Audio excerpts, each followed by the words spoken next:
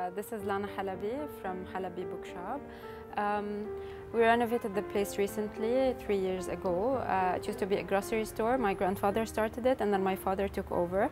And now we'll, we're all together helping uh, each other with the bookshop as a family. Then I helped my father when I was 10 years old, go to school and come back and help him because he didn't read and uh, spoke uh, uh, English.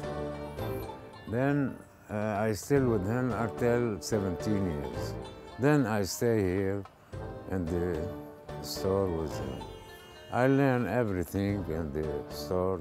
Then 1962, we sell the newspaper and books and uh, they were monthly or usually, you know.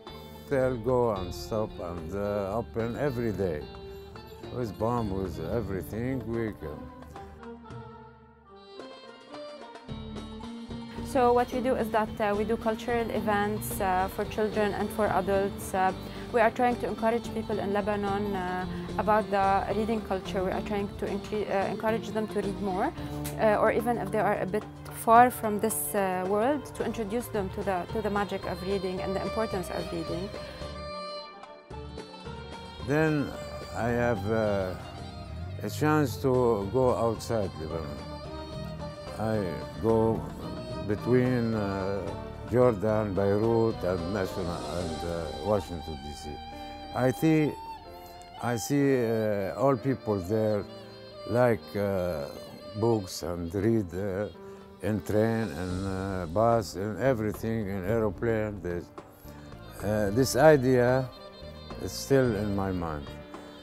When I come back, I collect a lot of books and uh, magazine and uh, newspaper and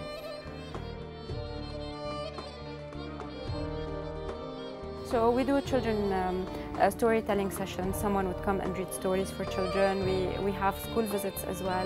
Uh, we also have our own book club, so we choose a book uh, and uh, people can come and read here and climb the attic and read as well. So it's open for everyone. It's a safe culture and space for everyone.